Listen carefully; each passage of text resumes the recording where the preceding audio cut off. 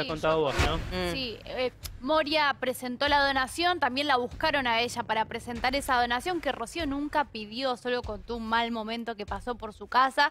Y este hombre dijo, yo quiero ayudarla. Bueno, pero Rocío estaba en el cantando, dijo, se me voló el techo, Moria estaba en el jurado, Claro. un día vino y dijo, yo la ayudo. Tengo Nos dicen a mí, a Laurita, por la cucaracha, Moria tiene alguien que va a ayudar a Rocío con la voladura del techo, no sé qué, bla, bla, bla. Pasó todo al aire, nosotros nos sentamos al aire, Moria hace eh, su speech.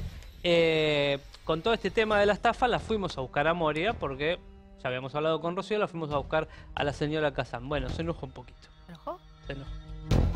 La agarramos de pocas pulgas, raro, Moria, de pocas Con la pulgas. de Claro, porque en ella- el medio, es lógico que si se te nombra en un caso o en un tema, vas le vayas porque le ella nombra a este abogado ella- que aparece como medio de la nada y era como sospechoso, porque este mismo abogado es el que después estafa a Rocío Quiroz, Al su marido, sí, al marido Claro. y la familia. Igual yo que- sigo insistiendo si vos googleás ella, al ella nombre... solamente dice que fue una presentación la que hizo. Claro, pero Claro, es raro. eso es lo que dice porque- Moria. Ahora, vos a este hombre lo googleás, ya no me acuerdo ni el nombre, y hay notas como que es un íntimo amigo de Moria. Los portales lo vendieron Ah. así, por Claro. eso se prestó a la Porque ella también dijo eso, que era su amigo. Ah, bueno, bueno, por eso. ¿O no? entonces, ¿Dijo sí, eso? sé. No, yo no me acuerdo. Yo lo tampoco me No acuerdo. me acuerdo lo que dije en el bloque anterior, que fue uno solo. Sí. Me voy a acordar. Pero vos en televisión presentás a alguien diciendo que va a hacer una donación sin conocerlo. Mi memoria, No, que no, lo no es, mi memoria que no es fidedigna, Sí. eh, me parece que Moria dijo, me apareció alguien que quiere ayudar a... No sé si dijo amigo, amigo. Claro, nosotros- Pero bueno, apareció a través de ella. los portales titulan amigo porque vos sabés que los portales muchas veces Claro, sí, eso es verdad. deforman Inflan o aunque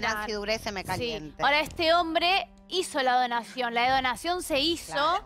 Lo que pasa es que. Igual después... es que sí, ella no pidió Y entonces se donó y. ¿cuál fue el quilombo? que después, como quedó como un ángel el señor, como qué buena persona, entró, entró en confianza con el marido de Rocío, hicieron un otro negocio con autos y ahí lo estafó con un montón de plata. A él y a su 75 mil familia. dólares famosos que a mí no entiendo. Si no, le sacó tenías 6 mil dólares a uno, 5 mil a otro, así era lo que vos Le habías iba contado. pidiendo de a poquito. Steffi, vos decís que ella no pidió la donación y yo No. lo entiendo. Ella se puso a llorar, contó que se le volvió el techo. Pero Cuando vos te van a donar, podés decir, no, gracias, no lo necesito. Yo no no. no, gracias ni loca. Yo tampoco. Bueno, yo la No, dame. Dámelo, me viene Dámela. veces Te hago- te hago el Yo chivo. no, porque a mí me prefiero que se lo des a una Tremendo, persona que lo no, tremendo canje el techo. Escúchame. No. eh, más allá de toda esta pagada, la fuimos a buscar a Moria y lo que nos sorprende de la nota es que se enojó, porque nunca se enoja, Moria, es rarísimo. Pero entonces hay una cosa rara ahí. ¿Vos decís que es turbio esto? A ver qué dice la Juan. A ver.